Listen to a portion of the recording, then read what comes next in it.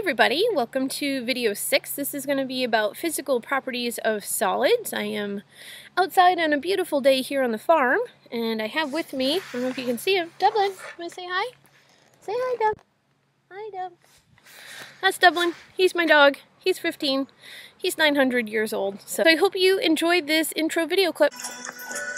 But if that rock and, say, this hamburger are both made of matter, then why are they so different? The rock is hard and rough and dark. The burger, on the other hand, is soft and juicy and has a lot of colors. That's how we can tell things apart, by their shape, color, smell, and so on. These are all called properties. And that's what we're going to talk about today, the properties of matter. So let's go. So what about this word properties? What does that mean? Well, it's really about how we describe things.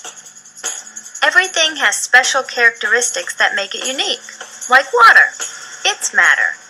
Can you think of ways to describe water? It's wet, smooth, it moves around a lot. You can see through it. These are all properties of water. By knowing these properties, I can decide that water is a good thing to dive into. What about something else, like rocks? Remember the rock I found in the cave? It had certain properties, but there are all kinds of rocks. Some are yellow, some are brown, some are even white. Some rocks are even softer than others, and some even smell different. By comparing the properties of matter, we can tell what kind of matter things are made of and what it can be used for. So I hope you enjoyed that video clip. As you can tell, it's a windy day here on the farm. So let's just remind ourselves matter is anything that has mass and takes up space.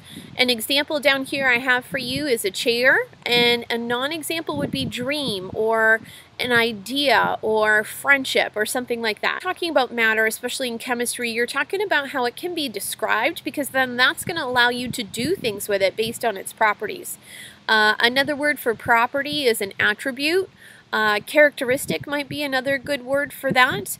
Now, matter comes with two different kinds of properties, physical and chemical. Physical is actually what we are going to focus on today, and specifically physical properties of solids. So physical properties of ones that you can see with your eyeballs, okay? That means when you look at it, you can see its color and its shape and its texture and things like that. They are very easy to observe and you're not applying any fire or reacting it with other things. Those would be for chemical. So I'm going to give you a huge list, so I hope you have your pen and paper handy. So here we go. Uh, number one is color, so whatever color it is, and of course it can be multicolored. Uh, shape, is it triangle or square or circle? Uh, the other one is texture, is it rough or bumpy or smooth? And then luster is just a fancy term for shiny. So you can say something is dull or you can say it has high luster if it's very shiny. A state of matter or whatever state of matter um, it is in is also a physical property. So is it a solid or a liquid or a gas? And that might be good for if you're talking about water, if you're talking about carbon dioxide. This is a different category um, in the fact that it's an ability or something that it can do, but it's still a physical property. So does it have the ability to be molded like the horseshoe I have in the picture? Or can it be pressed into a shape like a coin that you see down here? That's malleable. A good way to think about malleable or if you're testing it in the lab is if you took a hammer to it and you actually hit it, would it leave an indent or that hole in it or is it too strong and it wouldn't? Another one is flexible, so can it bend without breaking? And that's really the big deal. So I've got a slinky here for you. That's a good one for bending. Uh, soft metals like the copper you see here are very easily to be bent. Ductile is probably one you haven't heard before. Ductile means that it can be drawn into a wire and copper is excellent for that. A lot of the metals are ductile and I'm showing you down here in the bottom right. Hardness. Hardness means its ability to be scratched and we're going to talk a lot about hardness when we're talking about minerals like diamonds, um, and we're going to talk about it with metals. So, can you literally take your fingernail and scratch it or not? There's actually a scale, um, and you see one down here, and it's usually 1 to 10, with 1 being the weeniest and 10 being the strongest. Continuing on with our physical properties of abilities here, can it conduct heat? Can it conduct electricity? Um, and can it attract a magnet? All of these are physical properties of matter, of solids.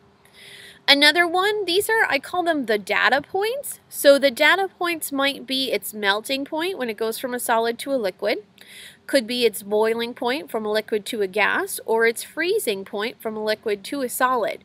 And all of those would be numbers that you would report out. Now, this is definitely a Burkeism of mine. I call it the nose and the knots. So when you are describing um, matter or anything in chemistry for that matter, you can always some, say something is not. So you can say steel is not flexible or you can say that it doesn't conduct electricity if you're talking about wood.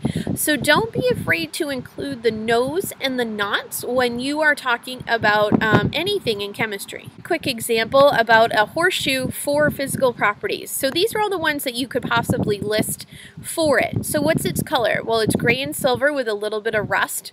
Uh, what's its shape? Well, it's U-shape. Its texture is it's kind of rough and coarse. Its luster is about medium. Is it flexible? No. Uh, is it malleable? Yes, when it's heated. Uh, its hardness is pretty high. You definitely can't scratch it with your fingernail. Does it conduct heat? Absolutely. Does it conduct electricity? Sure, it's a metal.